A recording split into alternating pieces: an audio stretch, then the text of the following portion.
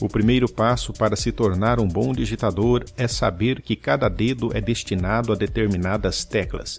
Sendo assim, na mão esquerda, o dedinho é destinado à tecla A, o dedo anular é destinado à tecla S, o dedo médio é destinado à tecla D, o dedo indicador é destinado às teclas F e G.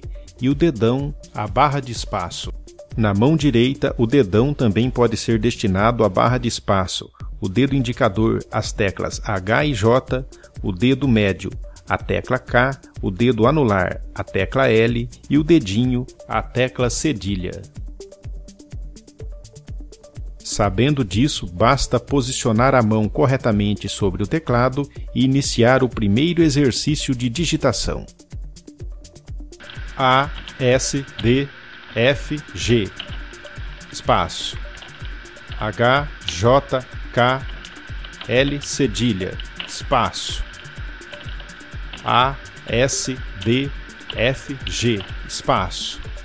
H, J, K, L cedilha, espaço, A, S, D, F, G, espaço, H, J, K, L cedilha, espaço, A, S, D, F, G, espaço, H, J, K, L cedilha, espaço, A, S, D, F, G, espaço, H, J, K, L cedilha, espaço, A, S, D, F, G, espaço, H, J, K, L cedilha, espaço, A, S, D, F, G.